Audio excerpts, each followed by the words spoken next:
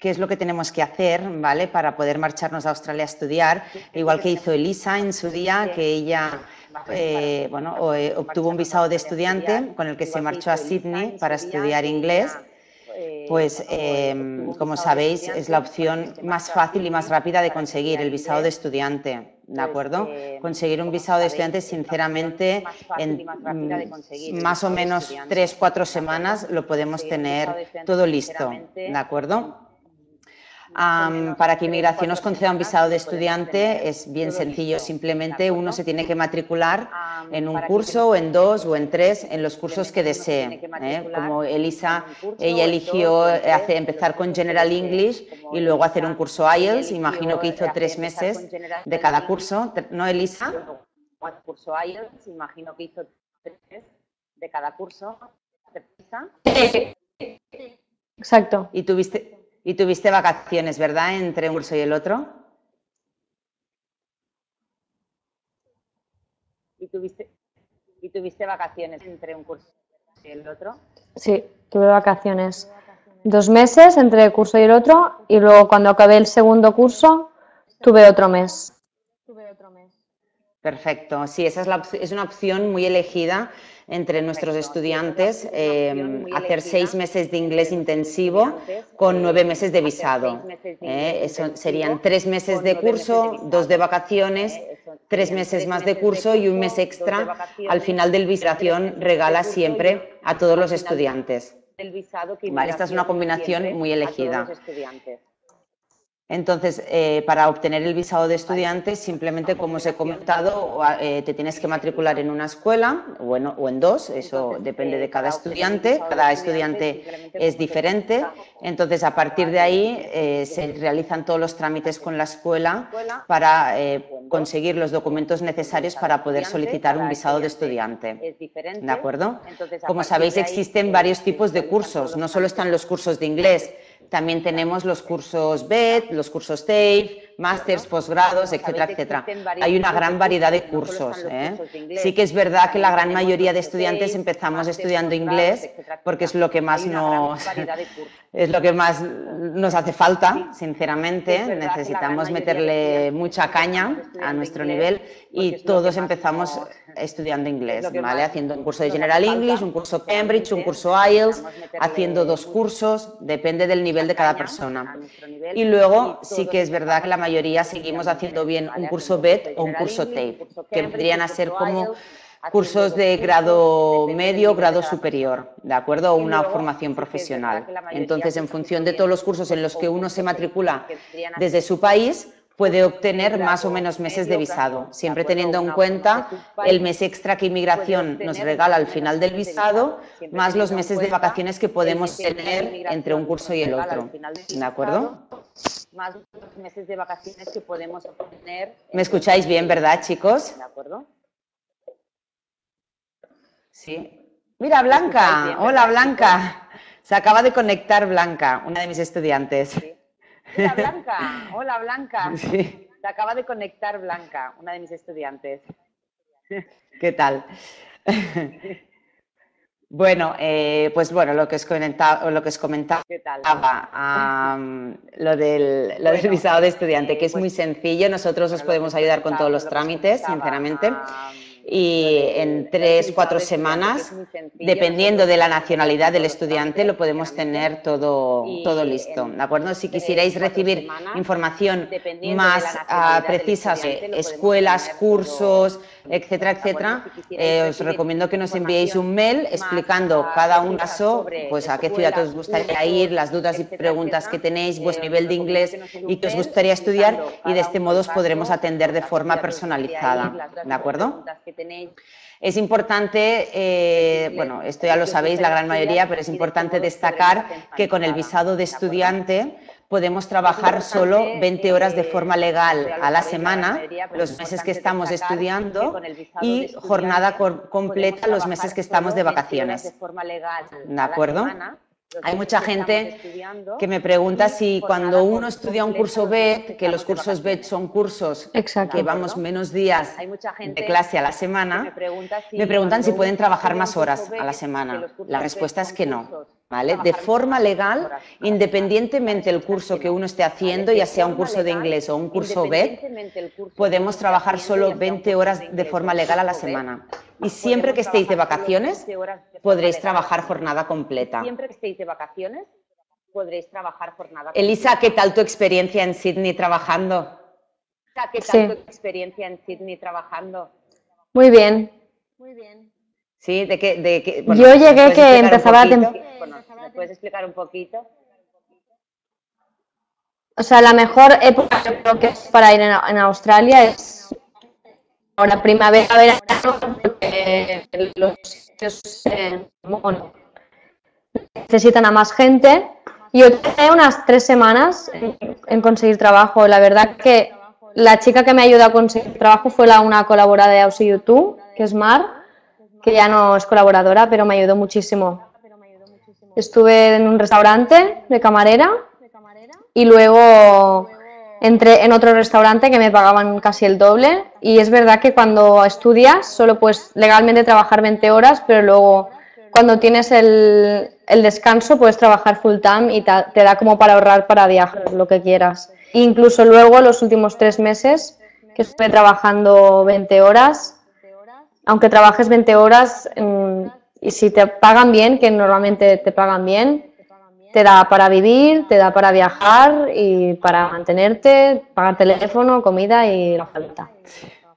Sí, la verdad que parece increíble, ¿no? Eh, Elisa, trabajando solo 20 horas, mucha gente realmente tiene serias dudas y me pregunta, pero Leti, ¿realmente trabajando solo 20 horas puedes vivir? Y le digo, a ver, si tú no llevas una vida de lujos, lógicamente sí, sí que nos da para vivir, porque por suerte los, los sueldos en Australia son bastante, bastante altos comparados con los sueldos que se están pagando hoy en día en España, por ejemplo. ¿De acuerdo? Pensar que eh, trabajando solo media jornada, 20 horas eh, a la semana, nos da para cubrir los gastos básicos que son alojamiento, comida, transporte y el móvil. ¿De acuerdo? Cubrimos estos cuatro, eh, estos cuatro gastos sin problema, ¿vale? Y luego los meses que uno puede trabajar jornada completa, esos son los meses en los que nos da para ahorrar y poder pues alargar nuestra estancia en Australia o mm, tomarnos unas semanas y viajar, etcétera, etcétera, ¿vale?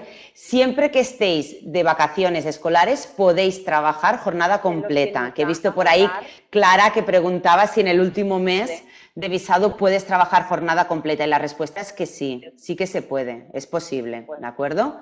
Tanto en las vacaciones que hay durante el curso o entre un curso y el otro, más el mes extra del final. ¿De acuerdo?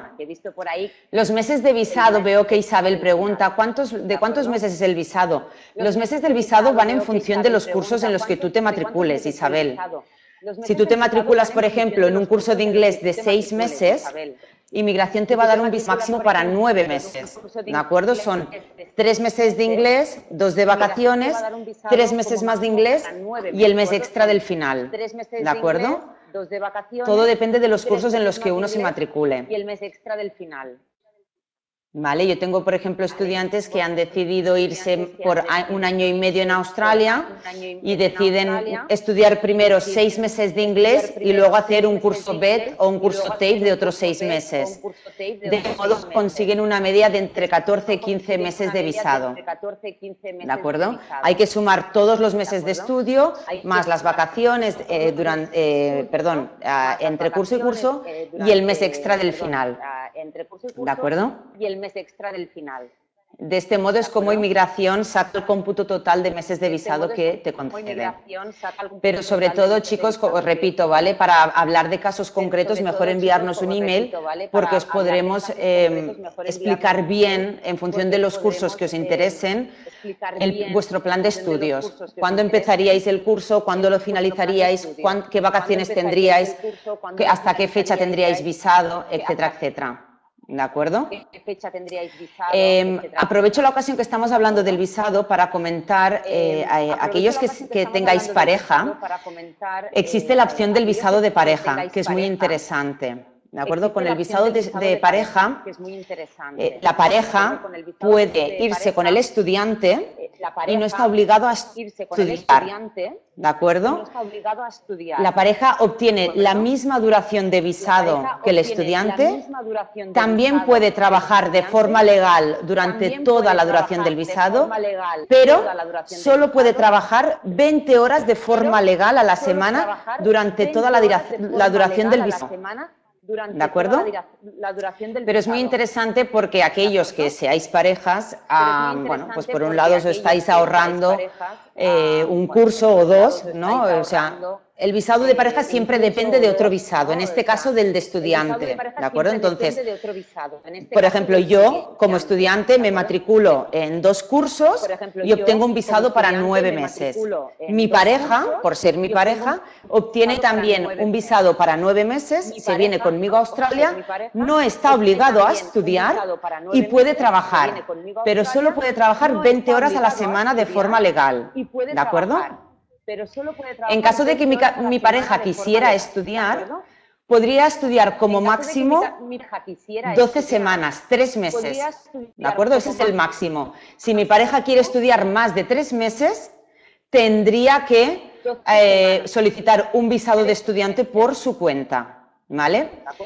Para demostrar que somos, lógicamente, para poder solicitar ese visado, tenemos que demostrar la inmigración que somos una pareja. pareja quiere ¿Va de acuerdo? O sea, no, no sirve solo decirlo, sino hay que demostrarlo. tendría Las doc- los documentos que se pueden aportar son eh, o bien el certificado de matrimonio, o bien el certificado de pareja de hecho, o bien documentación varia que vaya a nombre de los dos que demuestre que realmente somos pareja. Como por ejemplo, eh, una cuenta en el banco a nombre de los dos, un contrato de alquiler a nombre de los dos, los recibos del alquiler, una hipoteca, recibos varios de luz, agua, teléfono, eh, eh, por ejemplo, el seguro del coche a nombre de los dos, billetes de avión, reservas de hoteles, alquileres de coches, fotografías, emails, etcétera, etcétera, ¿vale? Hay muchas, mu- Eh, mucha ejemplo, documentación que podemos presentar, coche pero los dos, billetes de avión, esa documentación debe tener como alquileres de coche, mínimo fotografías, 12 etcétera, meses de antigüedad. Debe tener ¿De acuerdo? Una pareja que acaba de 12 iniciar la relación y lleva solo un mes juntos o cuatro meses, no eh, podrán optar a ese visado a no ser que estén casados, ¿de acuerdo? Porque inmigración te pide, si no estás casado o no eres pareja de hecho, presentar documentos que tengan como mínimo 12 meses de antigüedad, ¿de acuerdo? Un visado de pareja se solicita en el mismo momento que el visado de estudiante. En la misma solicitud de visado se solicita el de ¿de pareja, ¿de acuerdo? Un visado de pareja. Los trámites son igual de rápidos, es lo mismo. que Porque lo solicitamos el mismo día, el estudiante ya, te- ya tendrá, bueno, la pareja, perdón, que me quedo sin, sin saliva. La pareja tendrá que tener ya los documentos listos y chequeados con nuestra ayuda, lógicamente, para cargarlos a través de la página web de inmigración. ¿De acuerdo? El mismo día. La pareja, estudiante en caso de que inmigración le exija las pruebas médicas al estudiante, acuerdo. también se las va a pedir a su pareja. ¿De acuerdo? Cuando se tratan de visados cortos, visados de tres, bueno, de cuatro meses, normalmente inmigración no suele pedirnos las pruebas médicas. Pero si son de más de cuatro meses, pareja sí que nos las piden. tener ya los documentos acuerdo? listos y chequeados con nuestra ayuda, lógicamente. Elisa, ¿qué tal fue tu experiencia de con los trámites del visado? Va a pedir a su pareja. ¿De acuerdo? Cuando se tratan de visados cortos, vis-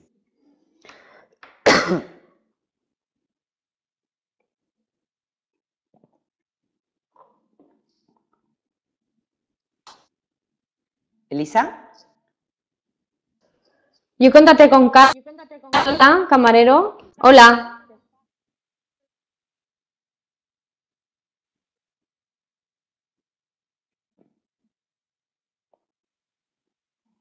Bueno, sigo. Lo mío fue muy sencillo. Decidirme en septiembre finales de septiembre y en noviembre ya tenía todo, todo preparado. Los cursos, Auxilio YouTube me ayudó a buscar curso, a buscar el alojamiento el primer mes en una residencia. Y cuando llegué, que para mí creo que es de lo más importante porque yo conocí, he conocido a muchas agencias y es lo que hemos hablado siempre, que cuando llegué a Australia el primer día quedé con Mar, que fue mi colaboradora y me ayudó en todo. Me ayudó a abrirme la cuenta bancaria, me ayudó a hacerme el no, me ayudó a buscar trabajo, me ayudó en todo, sobre todo me enseñó Bondi, que es el pueblo donde estuve viviendo yo, me explicó todo, incluso a día de hoy es mi amiga, ¿eh? que esto es otra cosa aparte, pero, pero sobre todo llegar y, que, alguien te reciba y entonces para mí fue muy importante. Y en cuanto a lo de, a que habéis dicho del visado, de las horas de trabajo y todo, yo estuve trabajando legalmente las 20 horas que me tocaban, pero es verdad que hay mucha gente que, que, trabajas en un restaurante o donde sea, que no te hacen un contrato, que es lo más normal, que a veces no te hagan contrato y te pagan en negro y puedes trabajar más de 20 horas. Yo donde trabajaba tuve suerte que, era un sitio donde pagaba muy bien, cobraba 21, 21 dólares eh, de sobras. Sí, la verdad que es un sueldo que está muy bien, Elisa. Lo que te pagaban está realmente bien. La verdad que es un sueldo que ¿Los fines de semana te pagaban más? Lo que te pagaban está realmente bien. ¿Los fines de semana te pagaban más? Sí, 26. Lo he dicho, pero se ha cortado. Vale, sí, yo no te he escuchado. Sí, eso es, eso es un dato importante, ¿eh, chicos. Normalmente eh, todos los, trabajos de fines de semana y festivos se suelen pagar un poquito más. ¿eh? Como el caso de Lisa, entre semana le pagaban 21 dólares por hora y los fines de semana o festivos le pagaban 26 dólares por hora. Y los fines de semana y lo que ha comentado antes, festivos me pagaban ah, el doble. El doble. Ah, mira qué bien. Ah, el doble. Sí, hubo, un festivo que cayó en como 56 la hora. Y si trabajas en fin de año o algo así, también puedes llegar a cobrar 50 o 60. Sí, sí. Es la hora, madre mía.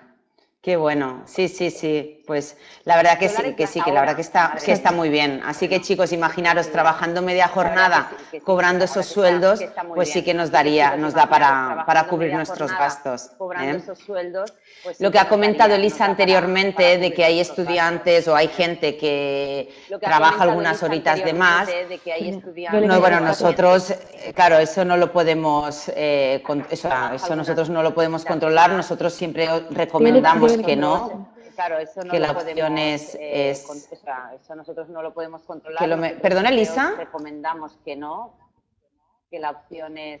¿Me estás hablando, Elisa? Que lo perdona, Elisa. Ah, no, no, nada, nada. Ah, vale, pensaba que me estabas hablando, perdona. Bueno, pues esto, ¿vale, chicos? Tener claro que cuando con visado de estudiante podemos trabajar 20 horas a la semana de pues forma legal y jornada completa los meses que estemos de vacaciones. Y la pareja con visado de pareja solo puede trabajar 20 horas de forma legal durante toda la duración del visado. Y la pareja con visado de pareja solo puede trabajar. Bueno, terminando con el hablando para hablar del visado, para no extenderme mucho, chicos, eh, bueno, lo repito, ¿vale? Los trámites son rápidos, son sencillos, nosotros os podemos ayudar con todos los trámites. Si, os, si estáis interesados, enviarnos un email eh, explicando vuestra situación, ¿de acuerdo? Y os atenderemos de forma personalizada y os explicaremos todas las opciones que tenéis, ¿de acuerdo?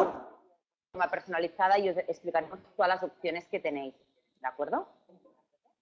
¿Vale? Porque como os he dicho, tenemos no solo los cursos de inglés, que son los cursos hélicos, también existen los cursos BED, los cursos TAFE, másters, posgrados, etcétera, etcétera. ¿eh? Hay muchas opciones. Los cursos TAFE, posgrados, etcétera. ¿eh? Hay muchas opciones.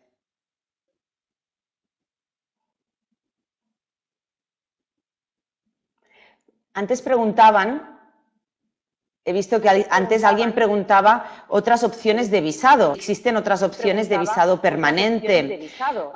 os cuento, chicos, hay otras opciones de visados, ¿vale? Permanentes. Bueno, permanente solo es la, residencia, ¿de acuerdo? Bueno, permanente solo es la... Conseguir la residencia en Australia es un poco complicado. y tiene que partir de un visado de trabajo, ya bien sea, por ejemplo, un sponsor o una skill visa que son dos visados concretos para trabajar en Australia. ¿De acuerdo? Nosotros no somos agentes inmigratorios y no tenemos ni la formación eh, correspondiente ni la información para poderos asesorar acerca de estos visados. ¿vale? Aquellos que estéis interesados en tramitar un visado u otro, os recomiendo que os pongáis en contacto con un agente inmigratorio especializado en tramitar estos visados para que os asesore de las opciones que tenéis. Muy brevemente, un sponsor es que una empresa australiana te quiere por, por tus cualificaciones y puede demostrar que no hay ningún australiano cerca que pueda desempeñar tu función y, se, bueno, y te hace todo el papeleo para sponsorizarte. Y las skill visas son una serie de profesiones demandadas por el gobierno australiano porque falta mano de obra de ciertas profesiones como médicos, enfermeras, ingenieros, topógrafos, dentistas. Entonces, si tú tienes una de estas profesiones y una, y una serie de requisitos más, puedes pedirle al gobierno australiano una skill visa. ¿De acuerdo? Repito, son visados complicados de conseguir, no son fáciles, ¿vale? Y requieren de la ayuda de un agente inmigratorio especializado. requieren de la ayuda de un agente inmigratorio especializado. A partir de estos dos visados, cuando uno consigue uno de estos dos visados y está un tiempo trabajando en Australia, puede en un futuro solicitar la residencia en el país. ¿De acuerdo? Pero esto estamos hablando que es un proceso largo y costoso también, ¿eh? No es gratuito. Y costoso también, ¿eh? Otro visado fácil de conseguir eh, relativamente es el visado Work and Holiday. Eh, Elisa, ¿tú te lo has planteado solicitar un visado Work and Holiday? Elisa, ¿tú te lo has planteado solicitar un visado Work and Holiday? Sí.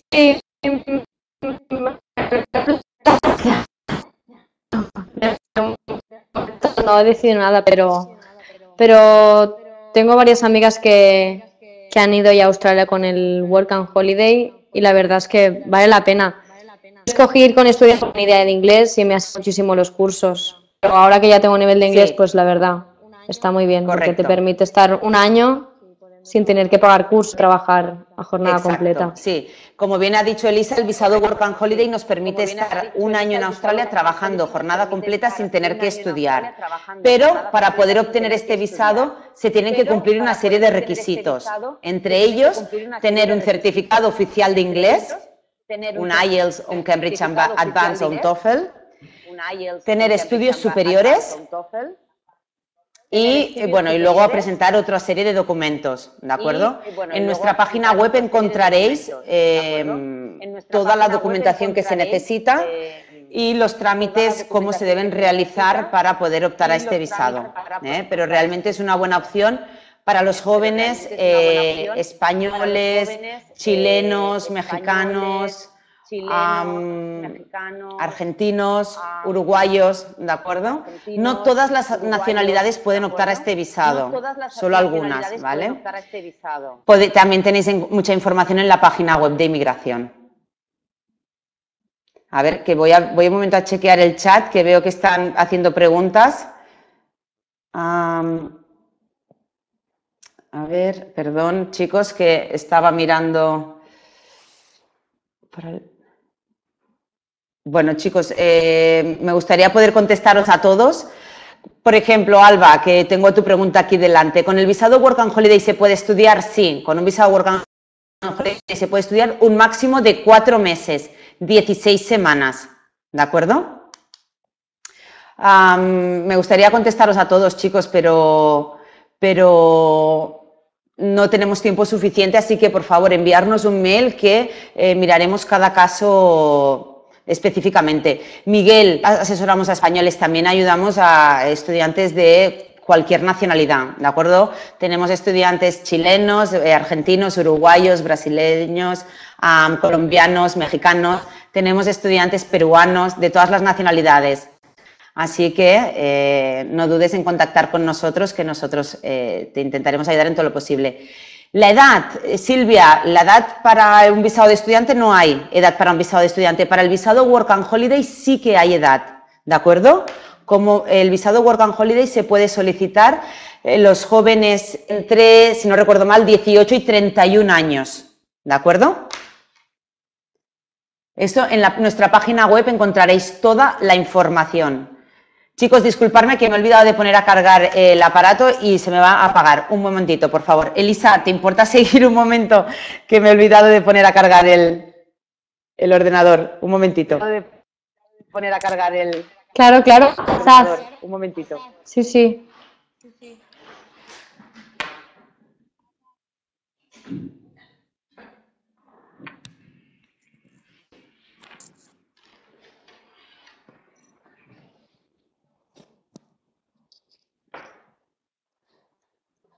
Aquí estoy nuevamente, perdón. Aquí estoy nuevamente, perdón. Perdón.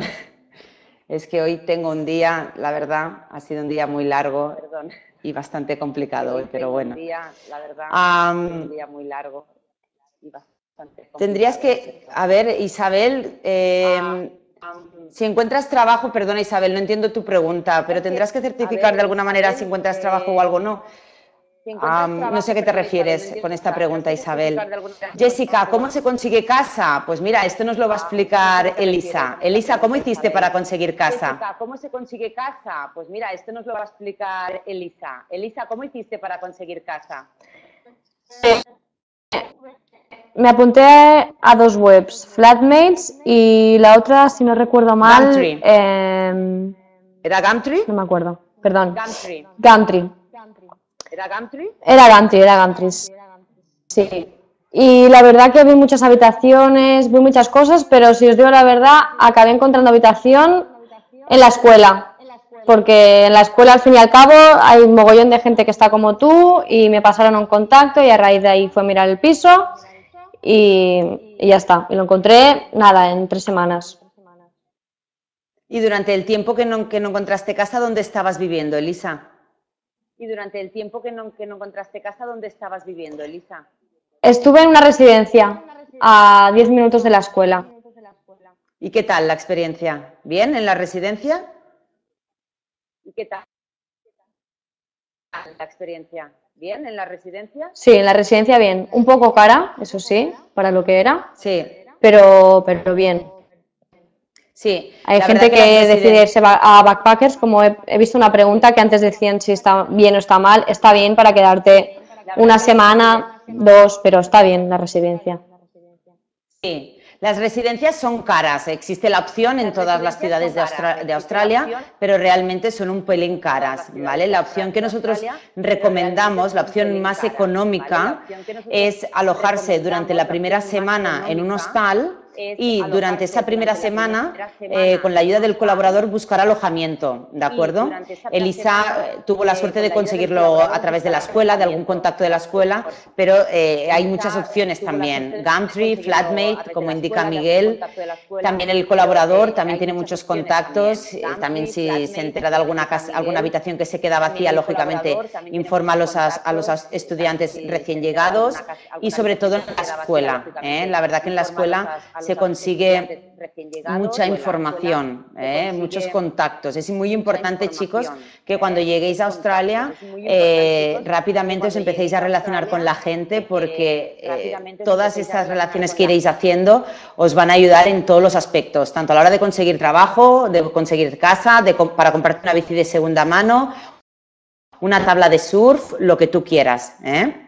La verdad que va muy bien conocer a muchísima gente, relacionarse el máximo posible. antes he visto una pregunta, perdona Isabel, no. Mm, ah, vale, Alba, los precios de las residencias. Bueno, depende de la residencia, lógicamente cada, residencia tiene, tiene, cada residencia tiene sus tarifas. Eh, ¿Tú te acuerdas, Elisa, de lo que te costaba la residencia por semana?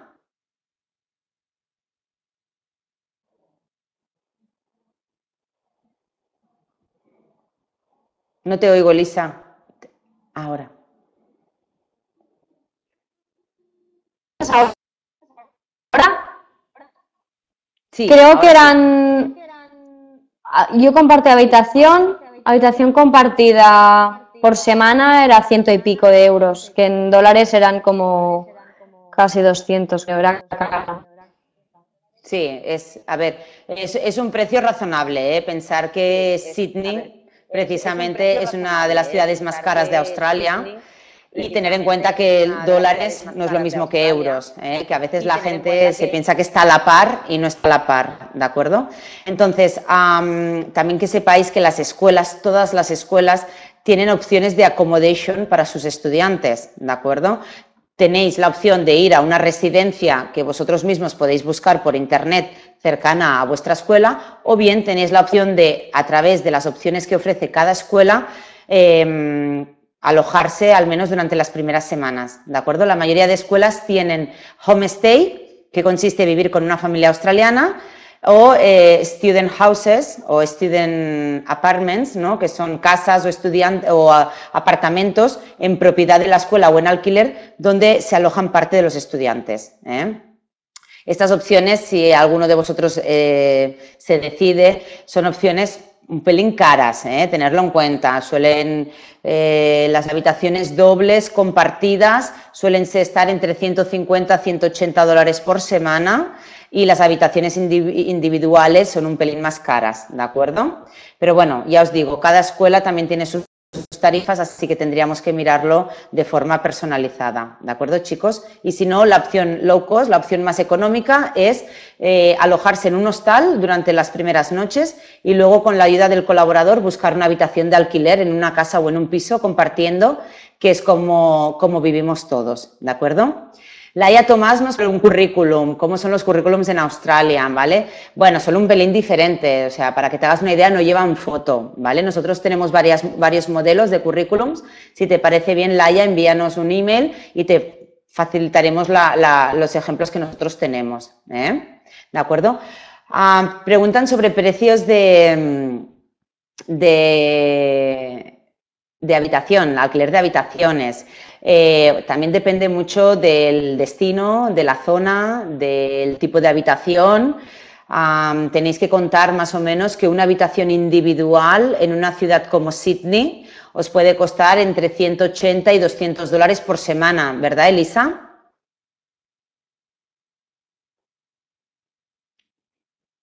O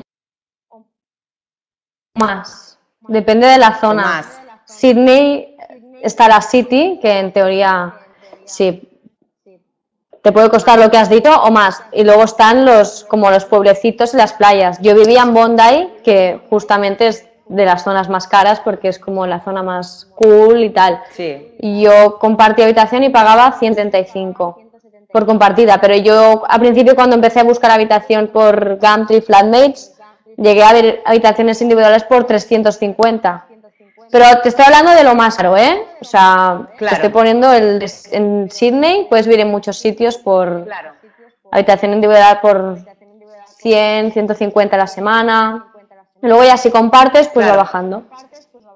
Claro. También depende mucho de la zona, ¿verdad, Elisa? Como bien has dicho, los barrios del sureste de la ciudad, claro, son barrios muy bonitos, barrios residenciales, barrios de playa. Entonces, bueno, eh, Bondi Beach, que es la zona en la que vivía Elisa, es una zona súper chula, muy cool, pero claro, es súper caro. ¿no? Elisa es la zona más, es la zona más cara, ¿verdad? De, de Sydney, Bondi Beach.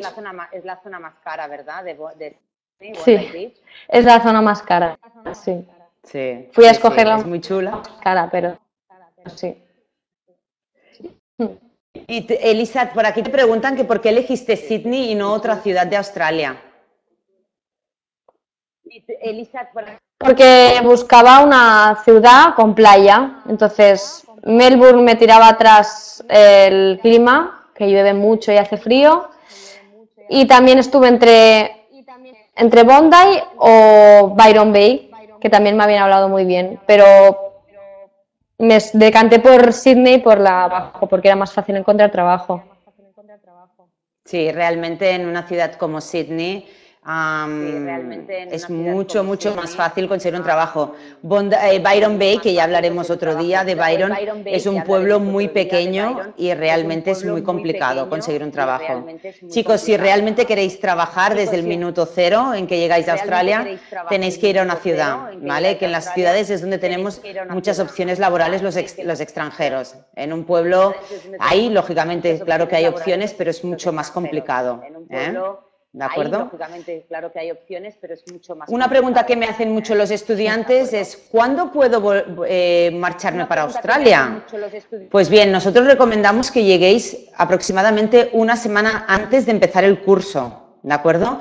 Durante esa semana antes que llegáis, antes de empezar la escuela, eh, es la semana en la que tenéis que, con la ayuda del colaborador, buscar alojamiento, eh, conocer la ciudad, ubicar la escuela, saber dónde está situada la escuela, conocer eh, las opciones de transporte público que tenéis, abrir la cuenta en el banco, activar el móvil, etcétera, etcétera. ¿De acuerdo? Todas estas cosas siempre es recomendable que las hagáis antes de empezar la, escuela. Y así, cuando empezáis en la escuela, ya si todo, si habéis tenido suerte, pues ya tenéis habitación, ya estáis instalados y ya podéis empezar el curso sin tener esa preocupación de que buscar de buscar eh, alojamiento, por ejemplo. ¿De acuerdo?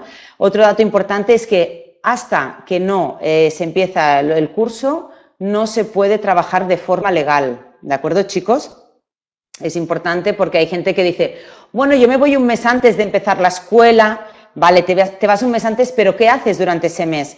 Porque si no estás estudiando y no estás trabajando porque no puedes, estás de vacaciones y lógicamente vivir un mes en Sydney, por ejemplo, sin estudiar y sin trabajar, sale bastante caro. ¿De acuerdo? Así que nosotros recomendamos que lleguéis una semana antes, más o menos, antes de empezar el curso, y cuando empecéis el curso ya podréis empezar a trabajar de forma legal. ¿Eh? No sé si me estáis escuchando ahora, chicos. ¿Alguien me puede decir si... Vale, sí, sí que se me escucha. Vale.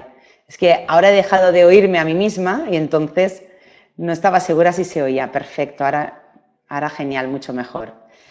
Bueno, em, si tenéis dudas acerca de, por ejemplo, eh, el tema del alojamiento, opciones de alojamiento que ofrecen las escuelas, etcétera, etcétera, también enviarnos un email, ¿vale? Y os, responderemos en cada caso. ¿eh? Pero ya sabéis que la opción low cost es siempre eh, alojarse en un hostal durante las primeras noches y luego buscar una habitación de alquiler en un piso o en una casa compartiendo, ¿de acuerdo? Y si no, otras opciones un poquito más caras son eh, las, opciones de accommodation que ofrecen las escuelas o bien em, ir a una residencia de estudiantes como hizo Elisa, ¿de acuerdo? Elisa, ¿quieres añadir algo más acerca del alojamiento?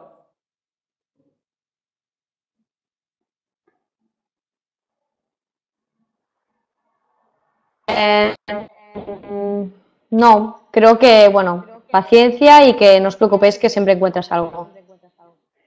Y aparte de la zona de, Bondi Beach, ¿cuál es otra zona que recomendarías a los estudiantes para que vivieran en, Sydney? Sydney, Ranwich y Paddington. son zonas de playa también y que no que tienes que coger el, bus de la ahí, pero que son igual de bonitas y más baratas. Sí, la verdad, Lisa, que a muchos estudiantes les preocupa mucho el tema del alojamiento. Y claro, yo les intento explicar, ¿no? Oye, no os preocupéis porque en Australia es muy común alquilar, compartir casa, compartir pisos, es algo súper habitual. Aquí en España, al menos en la zona en la que yo vivo, no es tan habitual. Entonces a la gente le, como que a veces le, le preocupa mucho este tema, ¿vale? Yo siempre intento tranquilizaros explicando pues eso, que, que no os preocupéis, que en Australia hay muchísima oferta, vayas a la ciudad a la que vayas, tendrás la opción de compartir casa, compartir piso con otras personas y pagar, pues lógicamente lo que, estés, lo que uno pueda, ¿vale? Porque como bien os ha explicado Elisa, eh, ella pagaba un poco más por la zona en la que estaba, pero existen zonas más económicas, si compartes habitación también te sale más económico, etcétera. ¿De acuerdo? Así que hay muchas, muchas opciones. ¿eh? bueno, eh, Isa, necesito tu ayuda. He perdido la presentación y ahora no sé por, por dónde vamos. Mira, mientras Isa me busca la presentación, te contesto, Jessica. Eh, hablas sobre el seguro médico, Jessica. Chicos, eh, importante. Con el ¿Cuánto tarda en el trabajo? Estamos obligados por inmigración a tener un visado. Uh, perdón. ¿Cómo? Obligados por inmigración a tener un visado. Uh, perdón. ¿Hola? Nada, nada, perdón. Nada, nada, perdón. Dime, dime, Lisa, perdona, que te he cortado, dime.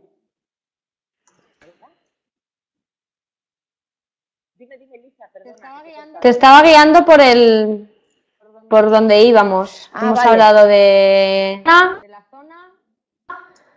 del trabajo, de cuánto tardé en encontrar habitación y supongo que ahora qué temporada es mejor para ir, ¿no? Vale.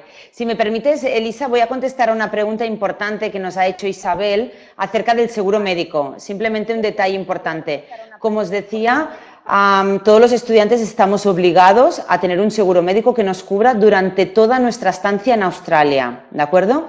Este seguro es un seguro médico que nos cubre sobre todo en caso de emergencia, ¿no? Cualquier urgencia eh, está cubierta por el seguro médico, ¿vale? También nos- nosotros nos encargamos de organizarlo y de gestionarlo para cada estudiante. La pareja también está obligada a tener el, seguro médico, ¿de acuerdo?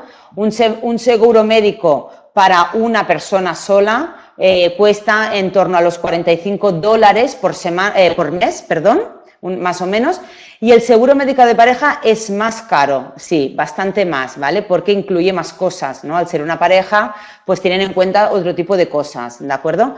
Pero cuando em, escribirnos y os, os enviaremos las coberturas para que sepáis eh, qué es lo que cubre el seguro médico, ¿de acuerdo?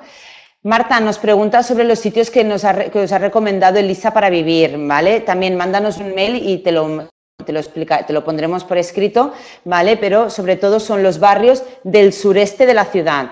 Si tú te pones en Google Maps y visualizas el centro financiero de Sydney, que es el CBD, y miras hacia el sureste, verás todos los barrios, ¿eh? desde Bondi Beach, Coogee, Maroubra, eh, Randwick, Paddington, hay un montón de barrios muy chulos, la verdad. ¿Eh? Eh, Elisa, perdona, te doy la palabra.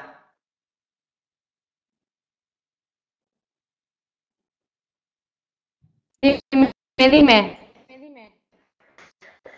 Preguntan si Manly es recomendable, Elisa. ¿Qué, qué opinas de Manly? ¿Por dónde íbamos? Preguntan si Manly es recomendable, Elisa. ¿Qué, qué opinas de Manly? A ver, no, yo no es que no lo recomiende, sino que el único inconveniente que tiene Manly es que para desplazarte hasta ahí necesitas un ferry y es muy caro. Sí, Y puedes ir en bus también, pues tardas mucho. Entonces es precioso, si Sí. surfeas, si te encanta la playa y todo este rollo, pero es más aconsejable vivir eso en Bondi, Tamarama, en Coogee, más cerca de la City. sí. Estoy de acuerdo con estoy de acuerdo con Elisa. Manly es un barrio muy bonito que está al norte de la ciudad de Sydney y el problema que, que tiene, básicamente para nosotros, ¿no? que no tenemos coche, que no, que no ten- tenemos que usar el transporte público para desplazarnos, es que las dos, las dos opciones que tenemos son solo el ferry o bien el bus. Con bus tardas demasiado y con ferry es muy caro. Así que Manly es más bien, eh, es una zona más bien recomendable para ir el fin de semana, ir a pasar el, eh, el sábado, el domingo, irte a la playa, ir a comer un fish and chips que está lleno, ir a pasar un, día con los amigos, y, pero vivir en el, en el sureste de, de la ciudad de Sydney, ¿de acuerdo? Sí que es verdad que hay estudiantes que deciden estudiar y vivir en Manly, ¿vale? Porque lo tienen claro, que quieren estar en esa zona. Entonces ya se matriculan en una escuela en Manly, que hay algunas escuelas, ¿vale?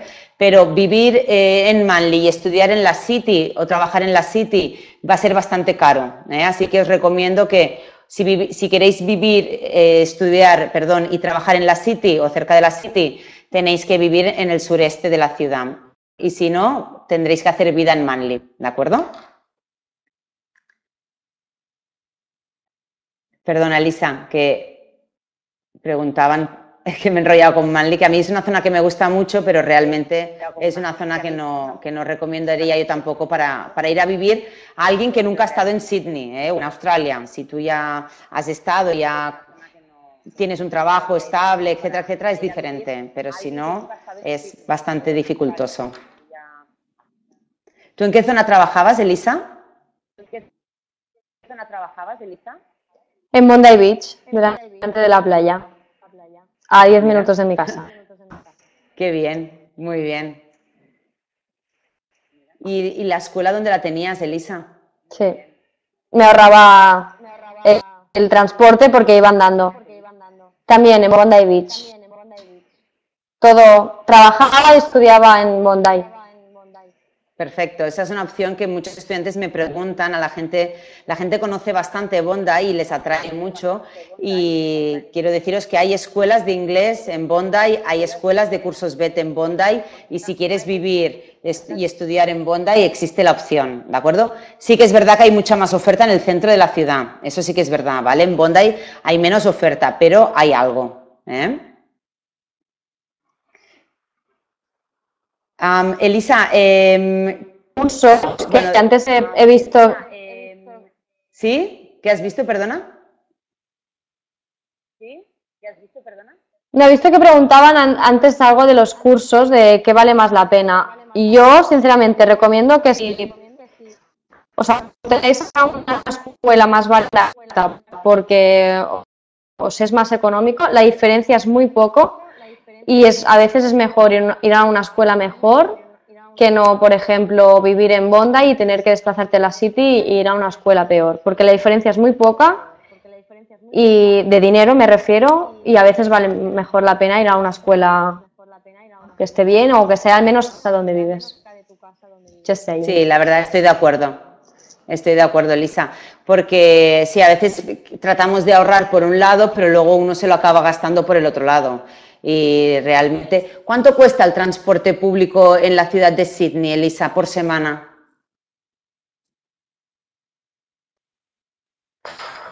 A ver, depende.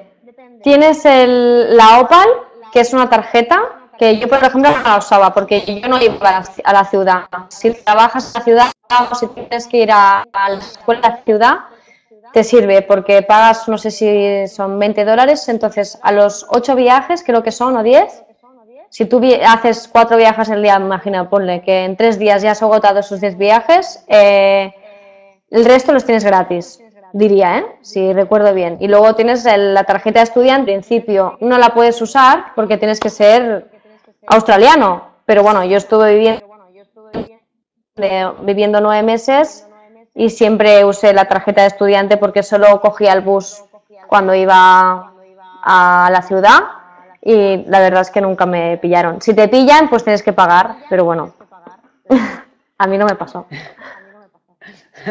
Tuviste suerte, ¿eh? Muy bien. Pero sí, chicos, tener en cuenta que el transporte público en una ciudad como Sydney es un poco caro. ¿Eh? pero, pero bueno, hay opciones para tratar de ahorrar en transporte. Hay estudiantes que optan por comprarse una bicicleta de segunda mano y ir todo el día en bici. Estudiantes como Elisa que tratan de buscar eh, alojamiento, escuela y trabajo en la misma área. ¿eh? Hay, bastantes, hay bastantes opciones.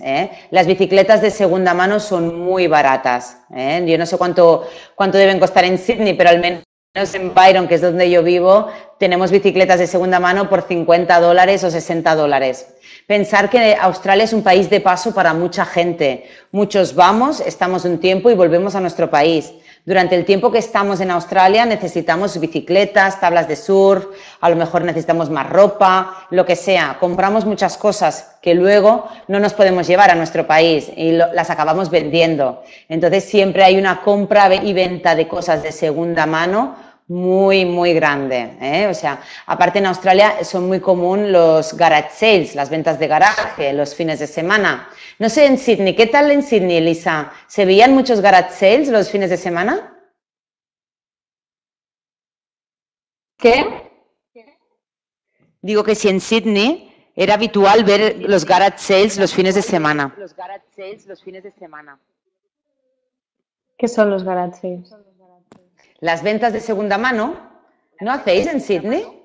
Sí, sí, sí, sí. Ah, vale. Sí, Como mercadillos de segunda mano, perdona, sí. Sí, exacto. Es que en Byron es muy común todos los fines de semana, sábados y domingos, la gente sale a la puerta de casa pone y monta una, una parada con todo lo que no quiere y puedes encontrar de todo, desde bicis, tablas de surf, ropa, un colchón, lo que sea, puedes conseguir de todo, es muy, muy común. En Australia no se tira nada, todo se reutiliza. ¿eh?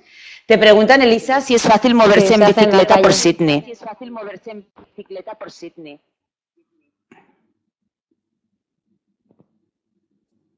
Ya he visto esa pregunta. Sydney muchas subidas.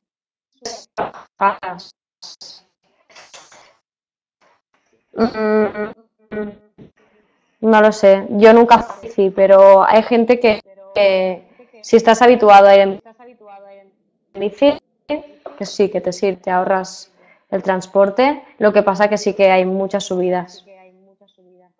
Sí, claro, también depende de la zona, ¿no, Elisa? Porque, por ejemplo, la zona de en la zona donde tú vivías era más bien plana o tenías muchas subidas.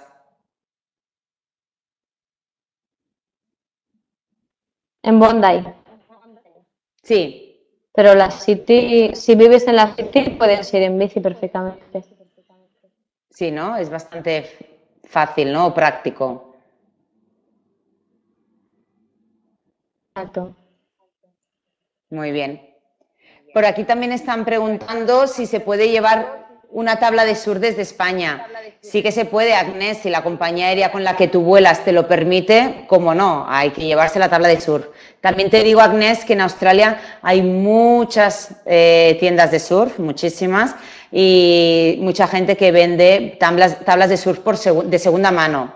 Eh, chicos, la página web de Gumtree es como nuestra Biblia sagrada, la usamos para todo. Gumtree la usamos para buscar alojamiento, comprar bicis, ah, tablas, ropa, ah, todo, ¿vale? Todo de segunda mano, ¿eh? Lógicamente, bueno, podéis encontrar cosas nuevas, pero todo es gente que lo vende, ¿de acuerdo? Así que eh, echarle un vistazo a Gumtree que veréis todas las cosas que podéis comprar, ¿eh? ¿De acuerdo? y por aquí Chris nos pregunta cuánto dinero hay que tener ahorrado.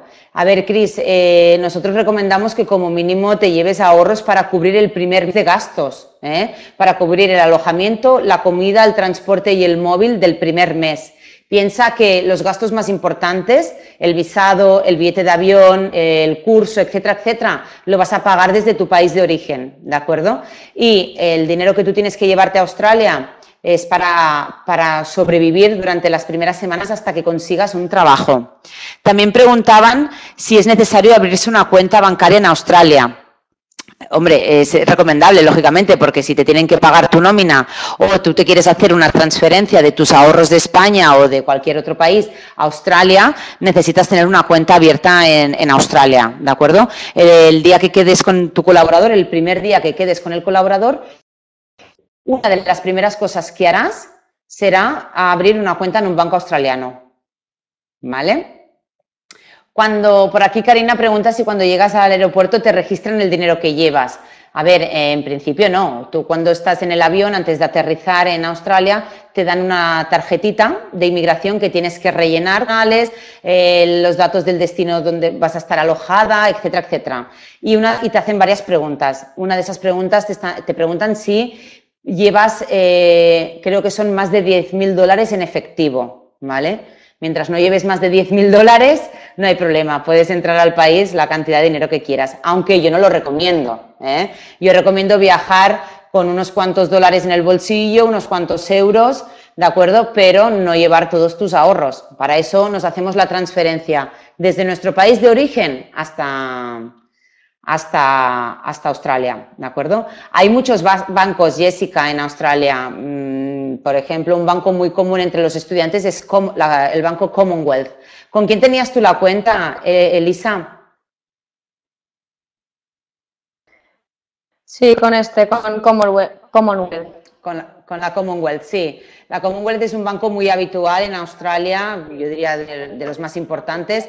Tienes cajeros en todas partes Incluso en otros países vecinos, como por ejemplo en Nueva Zelanda, tienes cajeros de, esa misma entidad y puedes sacar dinero con tu tarjeta sin que te cobren comisión. ¿eh? Por aquí también preguntan cuál es la capital del sur, si Bondi Beach o Gold Coast. Bueno, Roxana, yo creo que está ahí porque los dos destinos son destinos surferos, ¿eh? son bastante bastante importantes y famosos dentro de los que surfeáis. Así que bueno, la diferencia entre, entre Sydney y Gold Coast está básicamente en el tipo de ciudad. Sydney es una ciudad, eh, por ejemplo, más tipo, vendría a ser un tipo Barcelona, ¿de acuerdo? y, por ejemplo, Gold Coast lo podríamos comparar con una ciudad más tipo Miami en Estados Unidos, ¿vale? Un poco para que os hagáis una idea de cómo podría ser. Y sí, de Gold Coast a, Sydney hay, una, hay unos cuantos kilómetros, ¿de acuerdo? Bueno, chicos, eh, yo creo que me estoy enrollando mucho. La verdad que a mí cuando me, cuando me pongo a hacer Skypes me enrollo que, que, no veas. Yo misma me tengo que cortar porque si no me dan las mil.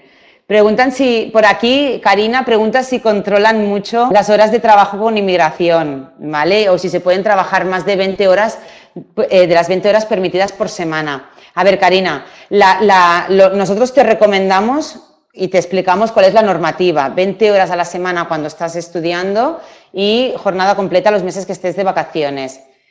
Sí que es verdad que habrá gente que hará algunas orillas extras, ¿vale? Pero eso allá ellos, ¿me entiendes? O sea, en, esta, en este mundo hay de todo, entonces, bueno, cada uno tiene que ser consciente con lo que hace. ¿eh? Lógicamente, lo permitido no es, ¿eh? ¿vale? Silvia, creo que es la próxima semana que hablamos de Brisbane o la otra. Isa, ¿cuándo nos toca Brisbane? Isa, ¿estás por ahí?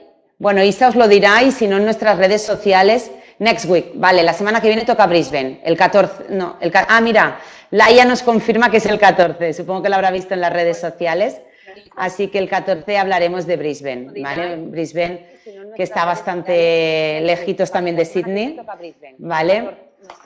Sí, el 14 a las, a las 8 de la tarde, igual, ¿de acuerdo?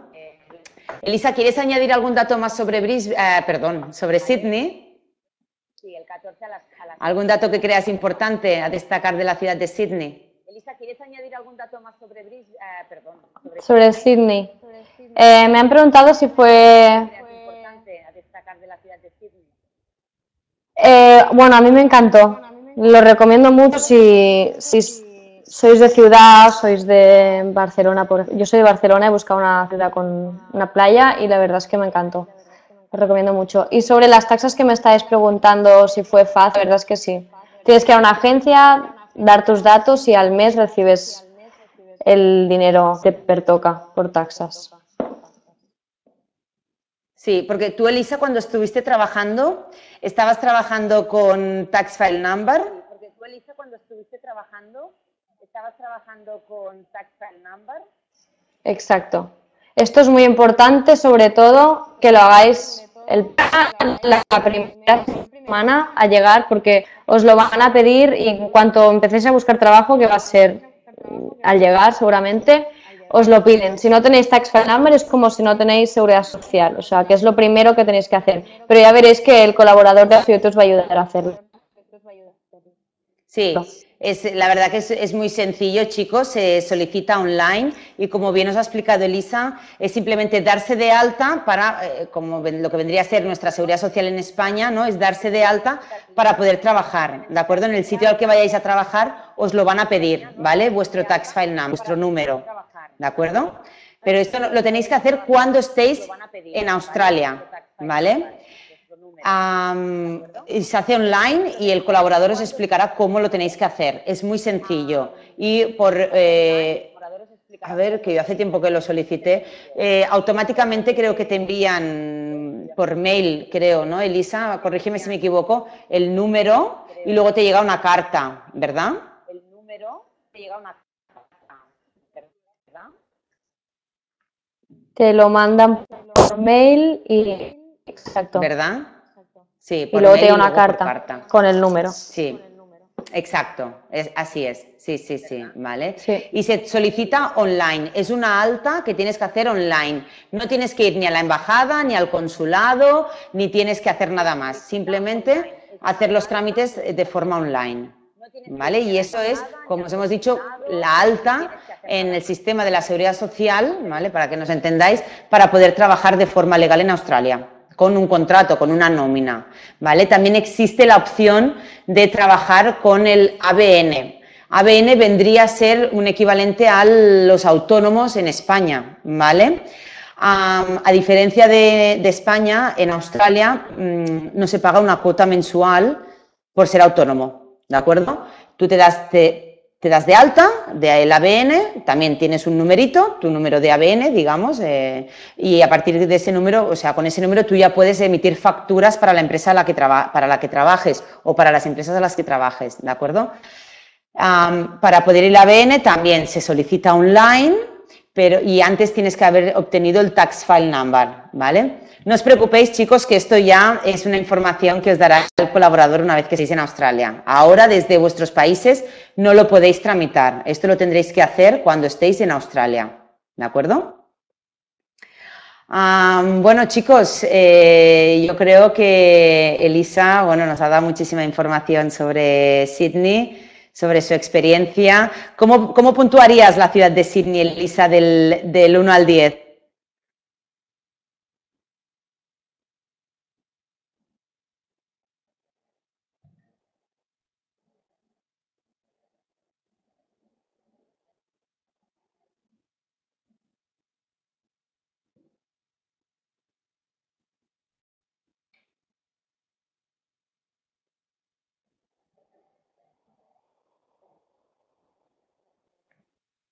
Yo no oigo nada, no sé qué pasa. Ahora, no te oía, Elisa, no he oído nada, cariño.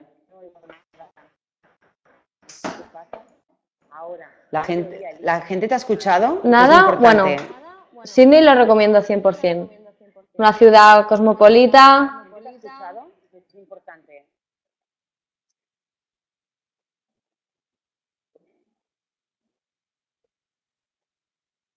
Se me escucha, ¿no?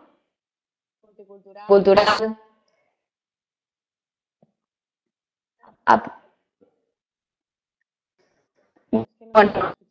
Ahora sí, Elisa, sí, se te había cortado, pero ahora sí que te escuchamos. Bravo, porque tendréis facilidades para encontrar trabajo seguro y no es una ciudad que no decepciona a nadie, creo. Estoy de acuerdo. La verdad que, Sydney es un gran destino, chicos. Yo creo que es una, ciudad, Sydney, que mm, muy diversa, tiene mucho que ofrecer, ¿vale? Tienes tanto la vida de ciudad, si te gusta la vida de ciudad, eh, tienes una ciudad estupenda, maravillosa, súper bonita, súper limpia. Y si te gusta la vida más tranquila, tienes todos los barrios del sureste o del norte de la ciudad donde puedes vivir tranquilamente. ¿eh? Suelen ser barrios más, pues, más tranquilos, con su playita, sus terracitas, sus bares. Ah, no, no hay edificios muy altos, casitas bajas, con jardines, muchas áreas verdes, ¿verdad, Elisa? Que en Sydney hay bastantes zonas verdes.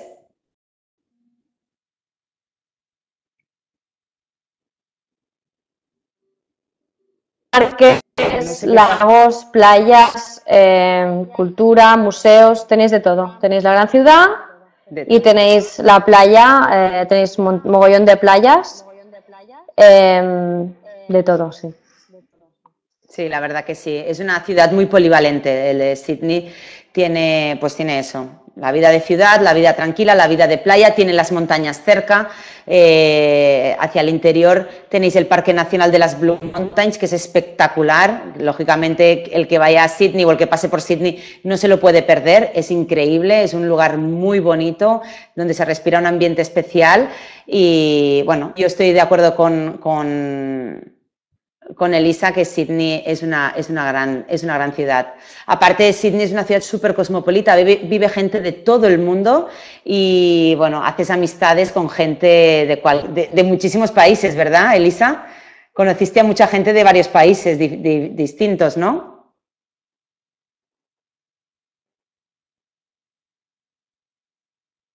Distintos. De todo el mundo. Bueno, a mí nunca me había pasado de conocer a gente de, de, todo el mundo. En la escuela ya, en la misma clase, tienes a gente de Japón, de Brasil, de Europa, de Sudamérica, Japón, Corea, de todo. Todos los días. Y el, trabajo también, ¿eh? Sí, eso es, la verdad que es, es para mí, a mí también que me encanta conocer gente y diferentes culturas, yo creo que es una, bueno, es una una experiencia única el poder relacionarte con ellos, llegar a, hacer lazos, una, buena amistad con esa gente. Luego viajas, te vas a cualquier país del mundo y siempre tienes una cama donde dormir porque conoces a tanta gente que, que la verdad que es estupendo. Sí, sí. Bueno, Elisa, yo creo que que nos has explicado súper bien tu experiencia en, en Sydney. Te lo agradecemos muchísimo. Muchísimas gracias por tu tiempo, por habernos explicado también lo, cómo te lo has pasado. Espero verte pronto por Australia. No sé si será pronto o no, pero bueno, me gustaría verte pronto. Y, bueno, que te, te, lo agradecemos de todo corazón y estoy segura que todos nuestros estudiantes también te lo agradecen porque muchos tendrán, tendrán la duda de a qué ciudad ir y seguramente que tú les has, ayudado a, decidir eh, irse para, para, Sydney. ¿eh? ¿De acuerdo? Bueno, chicos, yo también os doy las gracias a todos vosotros por estar ahí. a ver, Miguel, la última pregunta me dice, eh, ¿se puede ir a Australia con visado de estudiante más de una vez? Sí, claro, Miguel, no hay ningún problema. Sí, sí se pueden, tú puedes eh, solicitar varios visados de estudiantes sin ningún problema, ¿de acuerdo?